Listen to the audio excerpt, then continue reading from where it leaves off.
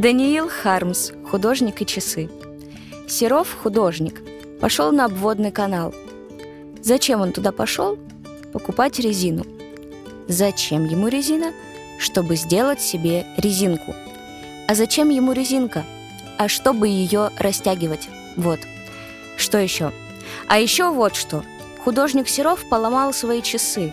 Часы хорошо ходили, а он их взял и поломал. Чего еще? А более ничего. Ничего и все тут. И свое поганое рыло куда не надо не суй, господи помилуй. Жила-была старушка. Жила-жила и сгорела в печке. Туда ей дорога. Серов, художник, по крайней мере, так рассудил. Эх, написал бы еще до чернильницы, куда-то вдруг исчезла.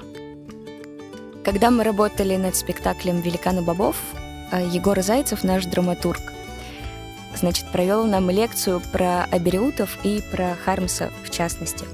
И он там сказал такую мысль, что вот есть, например, такой рассказ «Встреча», и что она проходит, ну вот смысл его в том, что просто два человека встретились, любые два, вот абсолютно любые, кто бы сюда не зашел в эту комнату. И вот это интересно, что событие и любое, будь то встреча или что-то еще, что оно случается, имеет свое название, но оно не должно быть каким-то глобальным, чтобы оно о нем, о нем, чтобы о нем говорить.